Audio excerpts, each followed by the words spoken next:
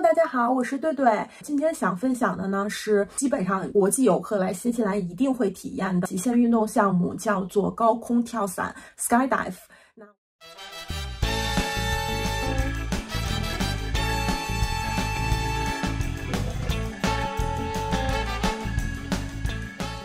通过我自己的三次高空跳伞的经历，以及我三年在游客中心工作的经验，给大家提供一些挑选跳伞公司、跳伞目的地的比较实用的攻略，希望能够帮助到大家。我自己呢是体验过三次的高空跳伞，第一次跳伞的经历呢是在南岛西海岸的福克斯冰川，当时的福克斯冰川的跳伞公司是一家非常小的公司，它的飞机小到大概只能坐两组乘客这样的情况。飞机上也是没有座椅的，所以你是要坐在那个飞机的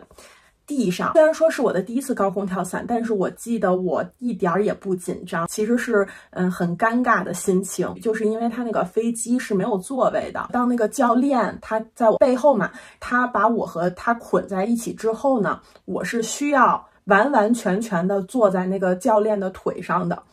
我是觉得特别的尴尬，我就想赶紧结束，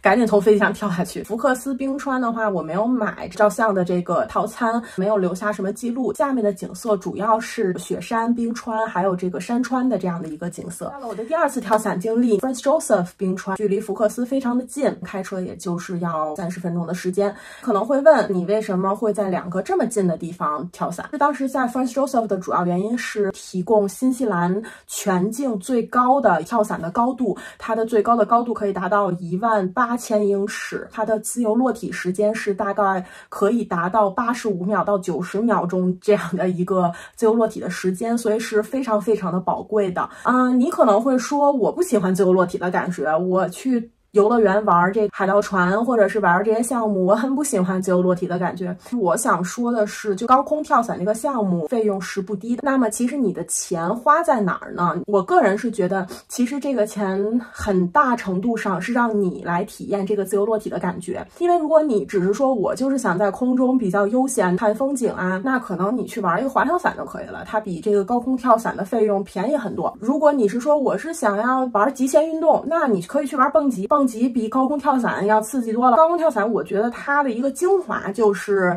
自由落体，所以自由落体的时间太短，我是完全不推荐的。我是觉得意义没有那么大，毕竟还是想要有一个这样完整的体验的，对吧？最低的高度，有的时候可能自由落体只有大概二十秒钟的时间，你可能你刚开始紧张，然后就结束了，它这个伞就开了，你空中就开始一个降落伞的这样的一个体验了。所以我会觉得可能没有那么划算。Franz Joseph 的话，就是为了体验这样的一个高度吧，我。记得这个飞机飞到大概一万两千英尺之后呢，你是需要戴氧气罩的，在飞机上，其实挺深刻的。记得当时从飞机上跳下去，我是觉得这个自由落体的时间是有点过长的，我有大概几秒钟的时间是觉得有有一点窒息的感觉，但还好之后散开了之后就结束了啊，也是一个非常独特的经历。Franz Joseph 还有一个好的地方就是它除了会有雪山冰川连绵不绝的山川之外呢，它还是临近海岸线的，呃，大概三分之二的。景色你可以看到的是山，然后还有三分之一的景色是那种绵长的海岸线以及大海，所以其实景色也是非常的独特，非常的不错的。那么来到我的第三次的跳伞的经历，那当时是在皇后镇，当时是有两个拍照的选项都选择了，一个是这个教练他会拿着 GoPro 来拍我，另外的话呢有一个跟拍的摄影师，他会从飞机上和我们一起跳下去，然后他在空中来进行一个拍摄。当时其实做这个选择是因为在 Franz Joseph。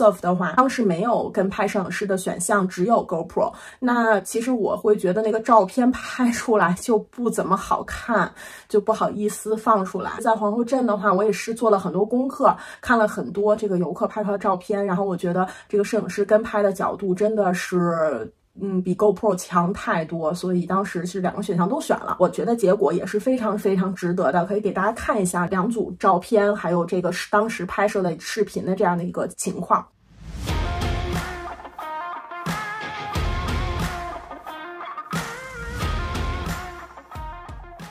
大家其实可以看到，这个跟拍摄影师他就是完全可以给你拍到一百八十度甚至两百七十度的这样一个风景，而且皇后镇非常令人震撼，是它下面的景色太漂亮了。如果去过皇后镇，或者你看一下这个地图，它大概是一个这个 L 的形状，那皇后镇大概是在这个 L 的中间这个拐弯的这个位置上面，所以呢，它跳伞基地又在紧贴湖边的这样的一个小的这个小半岛上面类似，所以你从飞机上跳下去的那一瞬间，你几乎完全就是在湖面上面的，下面全部都是水，群山环绕，然后下面是一片湖水，可能有一点天池的那种感觉，去想象一下这种感受有多么的震撼。所以我是觉得皇后镇非常非常非常的推荐啊，没有广告。